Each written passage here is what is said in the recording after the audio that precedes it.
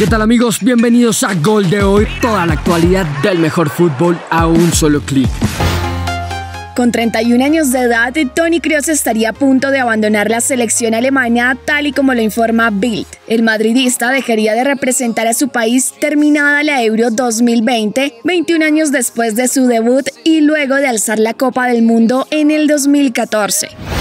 Harry Kane será uno de los delanteros pretendidos por algunos clubes en verano, entre estos se dice que el PSG de Pochettino. Sin embargo, en conversación con The Telegraph, el jugador dejó su futuro en el aire asegurando, trato de mantenerme al margen de esa especulación tanto como sea posible. Estoy totalmente concentrado en hacer el trabajo en el campo desde ahora hasta el final del verano y luego veremos a dónde vamos a partir de ahí.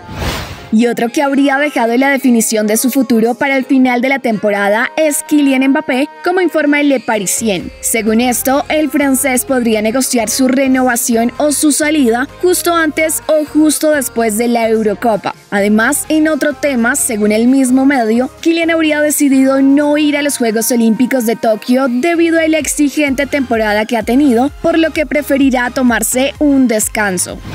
Y nos vamos con lo ocurrido en el día por las eliminatorias europeas. Francia fue el primero del día y precisamente sobre Kylian, el parisino no fue titular luego de su pobre actuación ante Ucrania. Le abrió el marcador ante Kazajistán con un derechazo de Dembélé y al 44 fue gol en contra para el 2 a 0 final del partido. Mbappé entró al 59, cobró de penal para el tercero, pero lo falló.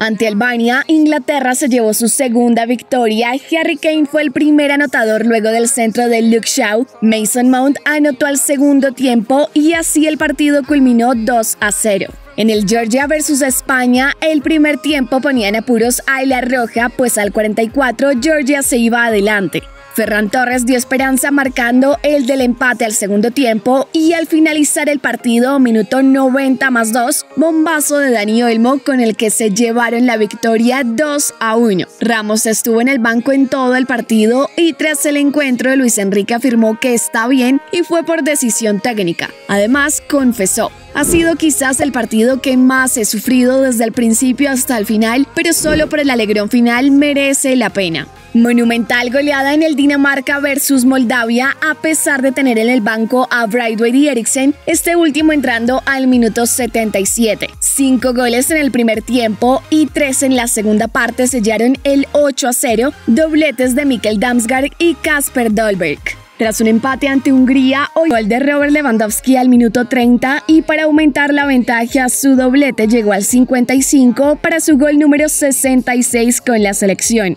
Al 88 llegó otro más para Polonia y la goleada final 3 a 0. Kosovo recibió a Suecia de nuevo con Zlatan Ibrahimovic de titular.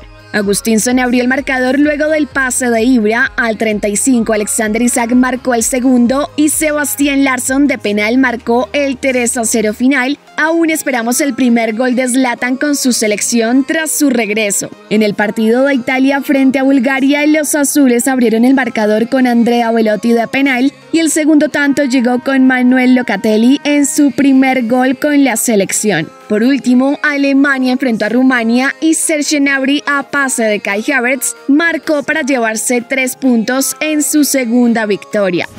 En amistosos internacionales, Grecia ganó frente a Honduras y Estados Unidos volvió a ganar. Fue frente a Irlanda del Norte 2 a 1 con goles de Giovanni Reina y Christian Pulisic. Hoy Tuto Sport ha repasado los nombres que suenan en la directiva de la Juventus de cara a la próxima temporada en busca de una revolución. En la lista aparecen los nombres de Mauro Icardi, Isco, Usman Dembélé, Gabriel Jesús, Locatelli y el de más sorpresa Joao Félix. En negociaciones por la renovación de Kevin De Bruyne, aún con contrato hasta el 2023, Sky Sports informa que el belga le habría dado el primer sí al conjunto Citizen. Según esto, habrá un aumento salarial considerable y bonus en caso de salir campeones. Es todo por ahora, suscríbete en el botón que ves en pantalla y haz clic en la campana gris para estar notificado con toda la actualidad del mejor fútbol. Hasta la próxima. Trying to protect your soul.